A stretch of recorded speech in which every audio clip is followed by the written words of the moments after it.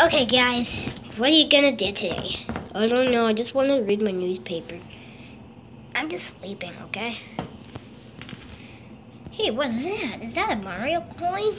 I'm gonna pick it up.